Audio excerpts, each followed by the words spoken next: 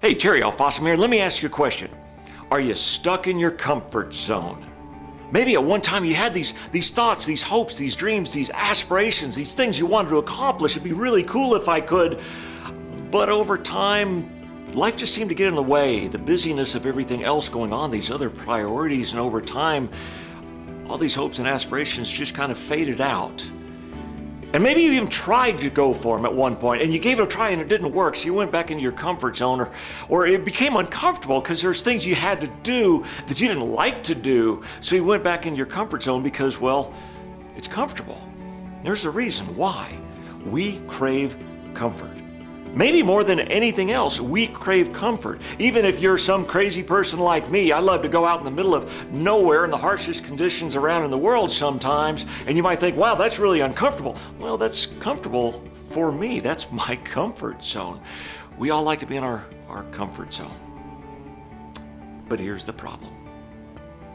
Interesting thing about cold and hypothermia, and I've been in a lot of conditions where that's happened or could happen. And the fascinating thing about when your body's starting to experience hypothermia is to begin with, you shiver. You've done that, right? Before you've gotten cold and you shiver. Well, that's actually a body response trying to create energy. It's creating that activity in your muscles to create energy, to create warmth.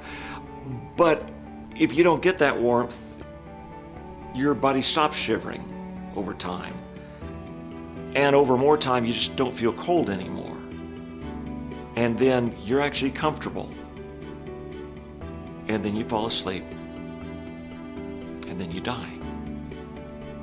Well, that's the exact same thing that happens with us in our comfort zone, with our dreams and our hopes and aspirations, the things that we wanted to accomplish over time, maybe we'll go for them a little bit, we shiver a little bit, so to speak. We create that action, that activity that could bring us forward, but it's still uncomfortable, so we go back into there. Or we try again and we just didn't like it out there. It's cold out there. The conditions are harsh, so we go back into our comfort zone once again, and then over time, well, we get focused on these other things that go on in our life, and those dreams seem to fade, and we start feeling comfortable.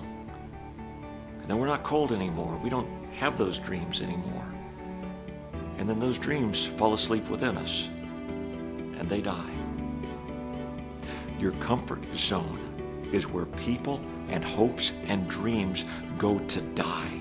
You need to give it another try. I want you to remember this is what's going on. I want you to recognize what is happening to you. Just like when you're going through hypothermia, you've got to recognize wait a minute, I'm falling asleep.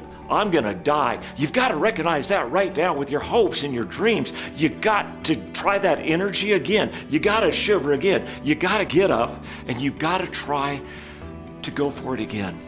You've got to get out of your comfort zone so you can live.